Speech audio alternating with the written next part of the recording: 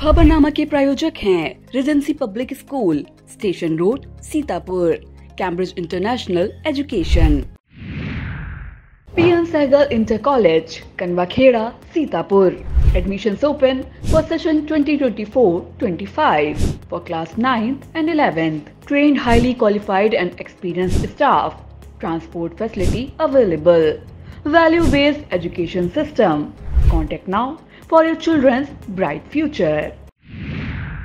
Sita group of education ने फिर रच दिया इतिहास यूपी बोर्ड हाई स्कूल परीक्षा फल में प्राची निगम इंटरमीडिएट परीक्षा फल में शुभम वर्मा ने किया यूपी टॉप यूपी की टॉप टेन लिस्ट में हाई स्कूल व इंटरमीडिएट के 19 और यूपी की टॉप 20 में सैतालीस मेधावियों ने जगह बनाकर रच दिया इतिहास। गत वर्ष हाई स्कूल में प्रियांशी सोनी ने किया था यूपी टॉप। अपने बच्चों के उज्जवल भविष्य के लिए Sita group of education, Mahmudabad की यूपी बोर्ड की शाखा और CBSE board English medium branch में आज ही कराएँ प्रवेश।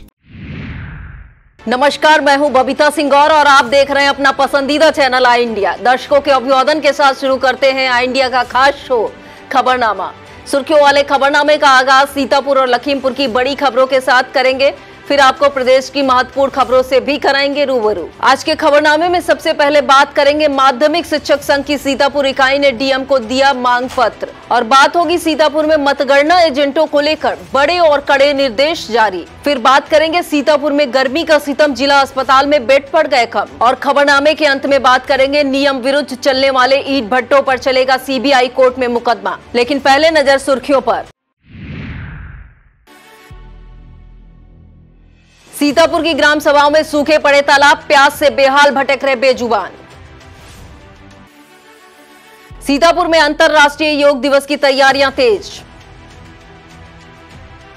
सीतापुर में दे दिया हर घर जल से नल, टोटियों से नहीं निकल रहा जल। सीतापुर में पत्नी और साली के साथ रील बनाना पड़ा भारी बाल बाल बची जान। लखीमपुर में मतगणना की तैयारियाँ, पूरी एजेंटों को लेकर दिए गए निर्देश। लखीमपुर में डीएम और एसपी ने जाना जिला जेल का हाल। सातवें चरण के मतदान में भी शिकायतों की भरमार। भीषण गर्मी से तप रहे यूपी में एक से दो जून के बीच हो सकती है बारिश। खबरों की शुरुआत हम सीतापुर ज़िले की खबरों से करेंगे। यूपी माध्यमिक शिक्षक संघ की सीतापुर जिला इकाई द्वारा जिला अधिकारी को पत्र भेजा गया है। इस तीन सूत्रीय पत्र में अवकाश के दिनों में काम करने के बदले ईएल दिए जाने, निर्वाचन कार्य में दायित्व निर्वहन पारिश्रमिक का भुगतान किए जाने और मतदान कार्यों के रूप में तैनात मतदान कार्मिकों के संपूर्ण पारिश्रमिक का भुगतान कराए जाने की मांग की गई है। इस पद पर संघ के जिलाध्यक्ष सुनील मिश्रा, जिला मंत्री अवनीश कुमार कोषाध्यक्ष अनिल राठौर, प्रांतीय संरक्षण मंत्री संजय वाजपेयी और शर्मा गुट के जिला अध्यक्ष पंकज श्रीवास्तव ने हस्ताक्षर किए हैं। सीतापुर में मछरेटा ब्लॉक के कंदुआपुर में सड़कों की खराब हालत से ग्रामीणों में नाराज़गी है। ग्रामीणों के मुताबिक गाँव में बनी नालियाँ टूट चुकी हैं, जिसके चलते नालियों का पानी सड़कों पर भरता रहता है। उनका आरोप है कि प्रधान माधवी शुक्ला से कई बार इसे सही कराने के लिए अनुरोध किया गया। लेकिन उनके द्वारा कोई ध्यान नहीं दिया जा रहा है। सीतापुर में चार लोकसभा क्षेत्रों के लिए नौ विधानसभाओं में पड़े मतों की मतगणना को लेकर तैयारियाँ तेज हो गई हैं। इस बीच जनपदीय निर्वाचन अधिकारी अनुज सिंह ने मतगणना एजेंटों को लेकर महत्वपूर्ण निर्देश जारी किए हैं। इसके अनुसार मतगणना में दूसरे विधानसभा क्षेत्रों के निवासी काउंटिंग एजेंट नहीं बन सकेंगे। जो व्यक्ति जिस विधानसभा क्षेत्र का निवासी है, वही विधानसभा क्षेत्र का मतगणना एजेंट बन सकेगा। इसी के साथ मतगणना एजेंटों का पुलिस वेरिफिकेशन भी ज़रूरी होगा। इसके लिए प्रत्याशी अपनी गणना एजेंटों की जो सूची देंगे, उसका पुलिस से सत्यापन कराया जाएगा। अगर कोई एजेंट संदिग्ध पाया जाएगा तो गणना एजेंट नहीं बन सकेगा। यूपी के दूसरे जिलों की तरह सीतापुर में भी गर्मी से प्रभावित मरीजों की संख्या काफ़ी तेज़ी से बढ़ रही है। जिला अस्पताल में हीट शॉक के मरीजों की संख्या इतनी अधिक हो रही कि इमरजेंसी में बेड कम पड़ रहे हैं। गर्मी से प्रभावित मरीजों को बेहतर इलाज के लिए अलग से अलग कोल्ड वार्ड बनाया गया है। सीएमएस डॉक्टर इंद्र सिंह के मुताबिक पहले चार बेड के इस वार्ड की आवश्यकता देखते हुए 20 बेड का कर दिया गया है। सीतापुर के सीपतपुर परशुरामपुरवा में धार्मिक आयोजन किया जा रहा श्रीमद भागवत कथा का यह कार्यक्रम 2 जून से शुरू होगा। यह कार्यक्रम श्री केशन यादव, नेपाल यादव और डॉक्टर अंबर प्रसाद यादव द्वारा आयोजित किया जाएगा। आयोजकों की ओर से बताया गया है कि कथावाचक के रूप में हास्य कवि हेमराज यादव को आमंत्रित किया गया है। प्रत्येक दिन दोपहर दो दो बजे से शाम पाँच बजे तक और फिर रात आठ बजे से कथा की अमृत वर्षा की जाएगी। उन्होंने बताया कि पूर्णाहुत और भंडारे के साथ 6 जून को कथा का समापन हो जाएगा। आसमान से बरस रही आग के बीच सीतापुर ज़िले में बिजली की डिमांड ने भी रिकॉर्ड बना दिया है। 30 मई को ज़िले में बिजली की डिमांड 406 एमवीए के रिकॉर्ड स्तर पर पहुँच गई। हालाँकि 31 मई को बिजली की डिमांड में कुछ कमी आई। अब वह घटकर तीन सौ एमवीए रह गई है। लेकिन इसकी वजह 30 मई की शाम आई। आंधी में तारों और खंभों के टूटने से कई फीडरों का ब्रेकडाउन में चले जाना रहा। हुसैनगंज स्थित 220 केवी पारेसर केंद्र के उपखंड अधिकारी अमित पासवान के मुताबिक अभी गर्मी का प्रकोप जारी है। लिहाजा बिजली की डिमांड इसी तरह उच्च स्तर को छूती रहेगी। इसमें कमी तभी आएगी जब मौसम में कुछ सुधार होगा। भीषण गर्मी इंसानों के साथ बेजुबान पशु पक्षियों के लिए भी कहर बनी हुई है। सीतापुर के ग्रामीण इलाकों में पशुओं के झुंड पानी की तलाश में यहाँ से वहाँ भटकते देखे जा रहे हैं। एक ग्राम सभाओं वाले सीतापुर जनपद के लगभग सभी ग्राम सभाओं के तालाब सूखे पड़े हैं। तालाबों से उड़ती धूल जिम्मेदारों की अनदेखी का हाल बयां करती है। हालाँकि ज़िले के सीडीओ निधि बंसल ने तालाबों को भराने के लिए निर्देश जारी कर दिया है। जिला पंचायत राज अधिकारी मनोज कुमार ने बताया कि सीडीओ की ओर से सभी वीडियो को अपने अपने क्षेत्र की ग्राम सभाओं में कम से कम एक एक तालाब में पानी भराने के निर्देश दिए गए हैं, ताकि गर्मी में भटकते बेजुबान जानवर अपनी प्यास बुझा सके।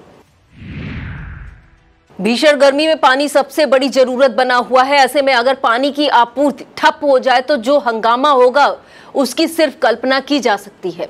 कुछ ऐसा ही लहरपुर नगर पालिका में हुआ। यहाँ के बहलोलपुर स्थित बड़ी वाली पानी की टंकी का वॉल अचानक खराब हो गया। इसका कारण उस क्षेत्र की जल आपूर्ति बाधित हुई। इसकी जानकारी मिलते ही खुद चेयरमैन हाजी जावेद अहमद ने मोर्चा संभाला और पानी की टंकी पर पहुंचकर जल कल कर्मियों को जल्द वॉल सही करने के लिए निर्देशित किया। इस दौरान समीर राइन, गुड्डू, आशीष पांडे, बल्लू अंसारी सज्जाद मंसूरी और अशफाक गौरी मौजूद रहे। सीतापुर में 21 जून के अंतर्राष्ट्रीय योग दिवस की तैयारियाँ तेज हो गई हैं। इसी कड़ी में भारत स्वाभिमान न्यास द्वारा 1 जून से 25 दिवसीय योग शिक्षक प्रशिक्षण कार्यक्रम शुरू किया गया। शहर के महावीर उद्यान में आयोजित हो रहे इस कार्यक्रम को लेकर भारत स्वाभिमान न्यास के जिला संयोजक नीरज वर्मा ने बताया कि यह प्रशिक्षण प्राप्त करने के इच्छुक अभ्यर्थी 10 जून तक अपना पंजीकरण करा सकते हैं। पहले दिन के प्रशिक्षण में ओंकार नाथ त्रिपाठी, लक्ष्मण प्रसाद कश्यप, हरिद्वार लाल, कुलदीप चौरसिया, जयप्रकाश वर्मा, बिमल पांडे, मुकेश त्रिवेदी, संतोष अग्रवाल, संदीप वैश्य, शुभी मिश्रा, सरिता तिवारी, लक्ष्मी देवी, रविंद्र वर्मा, मुकुल तिवारी, उमाकांत मिश्रा, ब्रजेश चतुर्वेदी, आदित्य वर्मा, विनोद मिश्रा और रंजीत मौजूद रहे। एक दिवसीय दौरे पर सीतापुर के बिस्वा नगर पहुँचे जेसीआई के राष्ट्रीय अध्यक्ष जेसी जेएफएस रिकेश शर्मा का बिस्वा इकाई के पदाधिकारियों ने जोरदार स्वागत किया। इस मौके पर जेसीआई एलिट और एलपिस ग्लोबल स्कूल के सहयोग से बिस्वा को यातायात नियंत्रण के लिए बैरिकेड भेंट किया गया। इसके बाद गुड़माला सेवा संस्थान में बच्चों को फ़ूड पैकेट वितरण के साथ पौधरोपण किया गया। इस मौके पर एलपिस ग्लोबल स्कूल में आयोजित कार्यक्रम को संबोधित करते हुए राष्ट्रीय अध्यक्ष ने जेसीआई के संस्थापक अध्यक्ष हिमांशु नाथ सिंह की सराहना की। कार्यक्रम का संचालन अंकिता सिंघल और अंजलि राजवंशी ने किया तथा आभार प्रदर्शन आयुष नाथ सिंह ने किया। इस दौरान विश्व जेसीआई अध्यक्ष अजीत श्रीवास्तव, पल्लवी सिंह, वसुंधरा सिंह, कनिष्क बरनवाल, उमंग राजवंशी, मुदित सिंघल, वांछित शर्मा, वैभव अग्रवाल, तुलसी राजवंशी, गुंजन अग्रवाल और नमन अग्रवाल मौजूद रहे। सीतापुर के संकट मोचन बड़ा हनुमान मंदिर पर संकट मोचन मंदिर समिति द्वारा भंडारे का आयोजन किया गया। खास बात रही कि मंदिर समिति द्वारा पूरे जेठ महीने में शरबत का प्रसाद वितरण किया जाएगा और महीने के चारों मंगलवार, चारों शनिवार को भंडारे का प्रसाद वितरण होगा। इस भंडारे में मुख्य पुजारी रमाकांत पांडे के साथ समिति अध्यक्ष उमेश अग्रवाल, आशीष गुप्ता, पवन अग्रवाल, महेश गुप्ता, मुकेश चौधरी, पुनीत अग्रवाल और राजीव गुप्ता तथा उनके अन्य सहयोगी मौजूद रहे। हर घर नल जल योजना को लेकर बड़ा ढिंडोरा पीटा जाता है, लेकिन इसकी हकीकत देखनी है तो मिश्रिक ब्लॉक के इस्लाम नगर में जाकर देखा जा सकता है। यहाँ पर पानी की टंकी बनवाई गई थी। घरों में कनेक्शन देकर पानी की सप्लाई भी शुरू कर दी गई। करीब एक महीना पहले अचानक टोटियों से पानी निकलना बंद हो गया। ग्रामीणों ने टंकी पर तैनात रघुनाथ नामक कर्मचारी से बात की तो उसने अपने को चौकीदार बताते हुए शिकायत बड़े अधिकारियों से करने का मशविरा दे दिया। गर्मी में पानी न मिलने से परेशान लोग शनिवार की सुबह टंकी पर पहुँचे तो वहाँ पर ताला लगा मिला। ग्रामीणों ने बताया टंकी से छोड़े गए पानी का फोर्स इतना कम होता है कि घरों में नहीं पहुँचता, जबकि उन लोगों से पानी का पैसा भी लिया जाता है।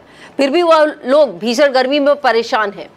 इस मौके पर राम आश्रे संजय कुमार, अमरीश राठौर, अमीर अहमद, हरिशंकर, रंजीत शिवशंकर आशीष, विनीत और रोहित मौजूद रहे। अपने मोबाइल पर रील तो काफ़ी बार देखी होगी। कुछ लोगों पर तो रील बनाने का नशा इस कदर होता है कि उनकी जान जोखिम में पड़ जाती है। ऐसा ही मामला सीतापुर के तालगांव कोतवाली क्षेत्र से आया है। लहरपुर के मोहल्ला बदायूं टोला निवासी इरफान अपनी पत्नी और साली के साथ कार पर सवार होकर शारदा सहायक नहर की कामन पट्टी पर तैर रहे थे। इस दौरान उसके मन में रील बनाने की इच्छा ने ज़ोर मारा। इस पर उन्होंने न्यामूपुर के नहर पुल के पास रील बनाना शुरू किया। तभी अचानक उनकी कार बेकाबू होकर नहर में जा गिरी। गनीमत रही कि मौजूदा समय नहर में पानी नहीं है, वरना तीनों की जान भी जा सकती थी। जेठ महीने के शनिवार को सीतापुर में एनसीपी के प्रदेश महासचिव प्रवीर सिंह ने सर्वर वितरण किया। इस दौरान सैकड़ों श्रद्धालुओं ने प्रसाद ग्रहण किया। कसमंडा ब्लॉक की मोहली ग्राम सभा के प्रधान धर्मेंद्र सिंह ने जेठ महीने में अपने सेवा भाव का अनुकरणीय उदाहरण पेश किया। उन्होंने ग्राम सभा की नंदनी गौशाला में जेठ महीने के शनिवार को गौवंश के लिए तरबूज भंडारा आयोजित किया। उन्होंने बताया, भीषण गर्मी व तेज धूप को देखते हुए यह भंडारा पंद्रह दिनों तक अनवरत जारी रहेगा। हर दिन बदल बदल कर गौवंश को खीरा, ककड़ी, तरबूजा, खरबूजा, तोरई, लौकी आदि का भंडारा खिलाया जाएगा। सीतापुर में गौ सेवा का और एक अनुकरणीय उदाहरण सामने आया है। मिश्रिक ब्लॉक के वीडियो अवध प्रताप सिंह के निर्देश पर जेठ महीने के शनिवार को ब्लॉक क्षेत्र के सभी कामधेनु गौ आश्रय केंद्रों में संरक्षित गौवंश के लिए तरबूज भंडारा आयोजित किया गया। वीडियो के मुताबिक इस दौरान गौ आश्रय केंद्र ठाकुर नगर में 25 क्विंटल, बर्मी में 25 क्विंटल हुसैनपुर में 21 क्विंटल, रहीमाबाद में 28 क्विंटल मिश्रिक देहात में 15 क्विंटल, ब्रीका सुरग्रंट में 20 क्विंटल, दघना मऊ में 17 क्विंटल और गोहलारी में 6 क्विंटल तरबूज और खरबूजा गौवंश को खिलाया गया। अब एक शोक समाचार, सीतापुर के गोंदला मऊ ब्लॉक की अल्लीपुर ग्राम पंचायत के पूर्व प्रधान अशोक सिंह का अचानक निधन हो गया। शुक्रवार को दोपहर में खेतों की सिंचाई करके घर वापस पहुँचने पर उनकी तबीयत अचानक काफ़ी बिगड़ गई, जिसके बाद उन्हें सिदौली के एक निजी अस्पताल ले जाया गया, जहाँ पर डॉक्टरों ने उन्हें मृत घोषित किया। और अब खबरें लखीमपुर ज़िले से। लखीमपुर में 4 जून को होने वाली मतगणना को लेकर तैयारियाँ लगभग पूरी कर ली गई हैं। इस दौरान मतगणना एजेंटों के कार्य तथा दायित्व की जानकारी के लिए सभी दलों के प्रत्याशियों और उनके इलेक्शन एजेंटों की बैठक आयोजित की गई है। जिला निर्वाचन अधिकारी महेंद्र बहादुर सिंह की अध्यक्षता में आयोजित इस बैठक में SP Ganesh Prasad Shah, CDO Anil Kumar Singh, ADM Sanjay Kumar Singh, ASP पूर्वी पवन गौतम और श्रद्धा सिंह सहित सभी विधानसभा क्षेत्रों के एआरओ तथा प्रत्याशी और उनके एजेंट मौजूद रहे। डीएम ने बताया, राजापुर मंडी स्थित मतगणना स्थल पर मतगणना चार जून को सुबह आठ बजे से शुरू हो जाएगी। वक्त हो चला है एक छोटे से ब्रेक का। आप देखते रहिए खबरनामा। रिफाइंड ऑयल और प्रोसेस जैसे अनहेल्दी ऑयल्स ने तो जैसे पूरे मार्केट पर कब्जा ही कर लिया है। मगर अब आप इसकी चिंता ना करें, क्योंकि आ गया है वंश कोल्हू का प्योर सरसों कच्ची घानी ऑयल। लकड़ी कोल्हू मेथड से तैयार, ये है नेचुरल और हेल्दी भी। वंश कोल्हू प्योर सरसों कच्ची घानी ऑयल के साथ। वंश कोल्हू तेल सही मिलेगा यहीं।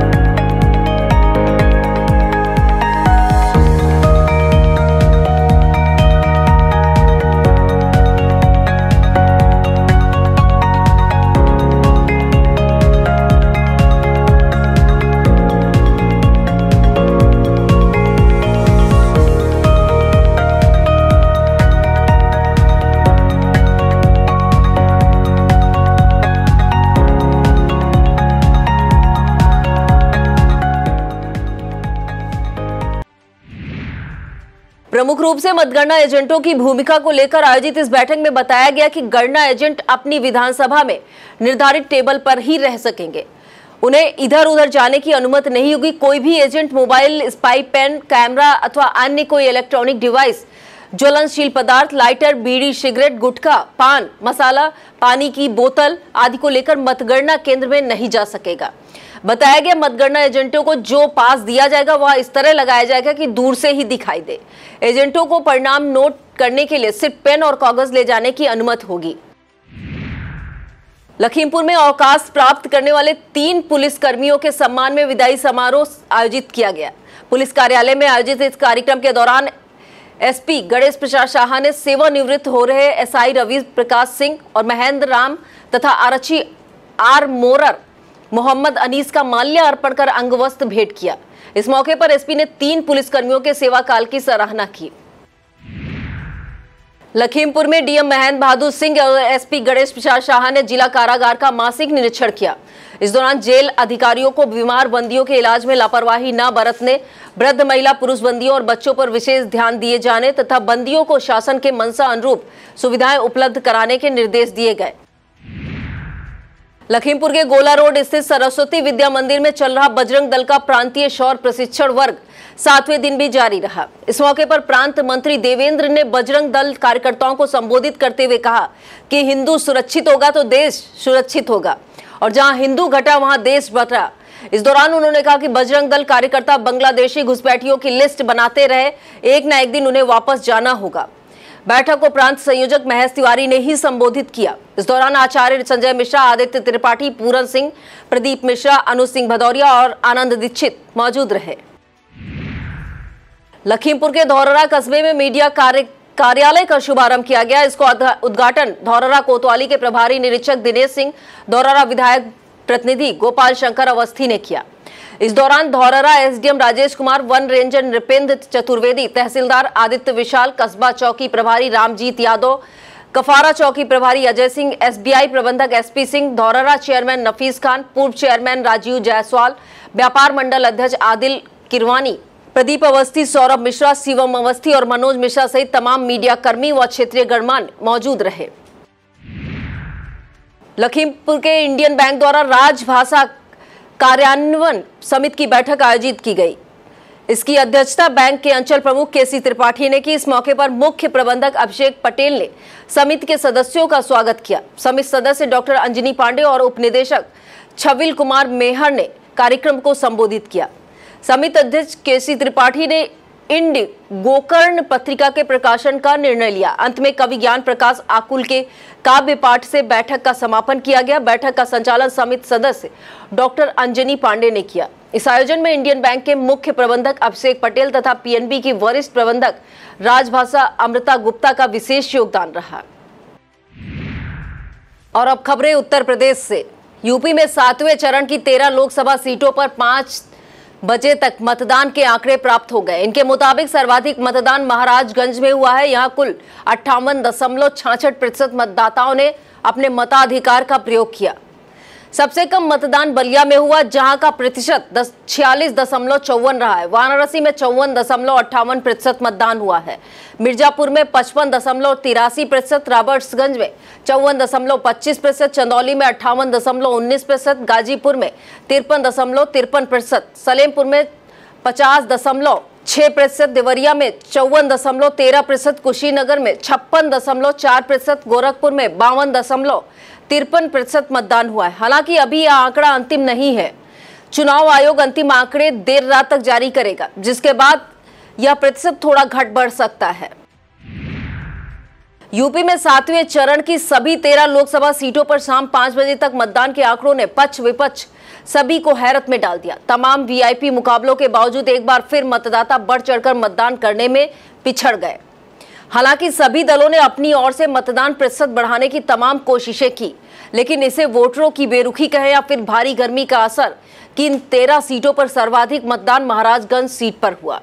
जबकि सबसे कम मतदान हाई प्रोफ़ाइल कही जाने वाली बलिया सीट पर हुआ। यहाँ पर पूर्व पीएम चंद्रशेखर के बेटे नीरज शेखर का मुकाबला सपा के सनातन पांडे से है। इसी तरह का हाल गोरक्ष पीठ की प्रतिष्ठा से जुड़ी गोरखपुर सीट का रहा, जहाँ पर केवल तिरपन दशमलव तिरपन प्रतिशत वोट पड़े। सबसे ज़्यादा चौंकाने वाला मतदान प्रतिशत वाराणसी का रहा। पीएम नरेंद्र मोदी के तीसरी बार मैदान में होने के कारण इस सीट पर भारी मतदान होने का अनुमान था। लेकिन शाम पाँच बजे तक के आंकड़े बताते हैं कि सिर्फ़ चौवन दशमलव अट्ठावन प्रतिशत वोटर पोलिंग तक पहुँचे। कुछ इसी तरह का हाल मिर्जापुर सीट का है, जहाँ से अपना दल की अनुप्रिया पटेल का मुकाबला सपा के रमेश बिंद और बसपा के मनीष त्रिपाठी से है। इस सीट पर केवल पचपन दशमलव तिरासी प्रतिशत मतदाता ही घर से निकले। सातवें चरण के मतदान में शिकायतों की भरमार रही। कहीं प्रशासन या मतदान कर्मियों पर भाजपा के पक्ष में काम करने के आरोप लगे तो कहीं ईवीएम में गड़बड़ी की बातें भी सामने आती रही। शिकायतों की लंबी सूची में दो शिकायत सुर्खियाँ बनी। वाराणसी सीट पर पीएम नरेंद्र मोदी का मुकाबला कांग्रेस के यूपी अध्यक्ष अजय राय से है। शनिवार सुबह मतदान शुरू होने के थोड़ी ही देर बाद कांग्रेस ने सोशल मीडिया एक्स पर बड़ा आरोप लगाते हुए लिखा कि नरेंद्र मोदी अपनी वाराणसी सीट हार रहे हैं। इसलिए अब भाजपा सरकार प्रशासन की मदद से धांधली करवा रही है। रोहनिया विधानसभा में बूथ संख्या एक सौ इक्यानबे, बानबे, तिरानबे पर कांग्रेस पार्टी के बटन पर टेप लगा दिया गया है, जिससे वोटर को कांग्रेस का निशान न दिखाई दे। दूसरी चर्चित शिकायत गाजीपुर लोकसभा सीट से आई है, जहाँ पर सपा के अफजाल अंसारी का मुकाबला भाजपा के पारसनाथ राय से है। यहाँ पर सपा की ओर से ट्वीट करके आरोप लगाया गया कि गाजीपुर लोकसभा सीट के जखनिया विधानसभा में बूथ संख्या नवासी पर भाजपा के लोगों द्वारा मतदाताओं को प्रचार सामग्री दी जा रही है। हालाँकि इस आरोप को लेकर थोड़ी ही देर में डीएम आर्य का अखौरी का भी ट्वीट आ गया, जिसमें उन्होंने एआरओ द्वारा स्वयं जाँच करने और केवल मतदाता पर्ची दिए जाने का दावा किया है। राजधानी लखनऊ सहित यूपी के अधिकांश इलाकों में ज़बरदस्त गर्मी का कहर जारी है। दोपहर के समय झुलसा कर रख देने वाली हवाएँ चल रही वही तापमान में। सामान्य से 6 डिग्री का इजाफा होने जाने के कारण समूचा जनजीवन अस्त व्यस्त है। हाल यह है कि यूपी के कुछ शहर भारी गर्मी के लिए चर्चित। सऊदी अरब से भी अधिक गर्म हो रहे हैं। मौसम विभाग के मुताबिक यूपी के 40 से अधिक जिलों में गर्म हवाओं का कहर जारी है। थोड़ी सी राहत की बात है कि मौसम विभाग ने यूपी के कुछ जिलों में 1 जून से 2 जून के बीच गरज चमक के साथ बारिश होने की संभावना व्यक्त की है। इन जिलों में लखीमपुर, सीतापुर, खीरी, हरदोई, कन्नौज, उन्नाव, लखनऊ, बाराबंकी, पीलीभीत, शाहजहांपुर आदि कई ज़िले शामिल हैं। यूपी में गर्मी सिर्फ़ झुलसा ही नहीं रही, बल्कि जानलेवा भी बनी हुई है। यूपी के अलग अलग जिलों में गर्मी से एक मौतें होने की चर्चाएँ बनी है। कहा जा रहा है कि मध्य यूपी में लू से सैतालीस, वाराणसी और आसपास जिलों में लू से बहत्तर, प्रयागराज में 11 कौशाम्बी में नौ, गोरखपुर में तीन, अंबेडकर नगर में चार, झांसी में छह, गाजियाबाद में चार, आगरा में तीन और रामपुर, लखीमपुर, खीरी तथा पीलीभीत में एक एक व्यक्ति की लू लगने से मौत हो जाने की जानकारी मिल रही है। यूपी में गर्मी का कहर बेकाबू होता देख योगी सरकार हरकत में आई है। खुद सीएम योगी आदित्यनाथ ने अपने बड़े अफसरों के साथ बैठक करके कई दिशा निर्देश दिए हैं। इस निर्देश के तहत यूपी के तीर्थ सहित शहरों में निःशुल्क पेयजल व्यवस्था पर काम शुरू किया गया है। इस काम की ज़िम्मेदारी जल जीवन मिशन को सौंपी गई है। इसका पूरा खर्च मिशन से जुड़े एनजीओ कंपनियों और एजेंसियाँ उठाएँगी। 30 जून को रिटायर होने वाले सरकारी कर्मचारियों के लिए बड़ी खुशखबरी है। अब उन्हें 1 जुलाई को मिलने वाली वेतन वृद्धि का हकदार माना जाएगा। यह फैसला इलाहाबाद हाई कोर्ट से आया है। दरअसल अलग अलग वर्षों में 30 जून को सेवानिवृत्त होने वाले यूपी के पाँच आईएएस अफसर ओम नारायण सिंह, अनीता श्रीवास्तव, जगत राज त्रिपाठी, डॉक्टर सुरेंद्र कुमार और नरेंद्र शंकर पांडे ने हाईकोर्ट में याचिका दाखिल की थी। न्यायमूर्ति सलील कुमार राय ने अपने आदेश में कहा कि 30 जून को सेवानिवृत्त होने वाले कर्मचारी 1 जुलाई को मिलने वाली वेतन वृद्धि के हकदार हैं। इंक्रीमेंट कर्मचारियों के पिछले साल की की गई सेवाओं का पारिश्रमिक होता है। इसे रोकना अविधिक है। एक डीआईओएस के मामले में डीएम के अधिकारों पर सवाल उठ चुके हैं। हाईकोर्ट ने एक बार फिर डीएम के अधिकारों पर सवाल उठाया है। कोर्ट ने डीएम द्वारा एक थाना प्रभारी के खिलाफ केस दर्ज करने का आदेश दिए जाने के मामले में असहमति जताई है।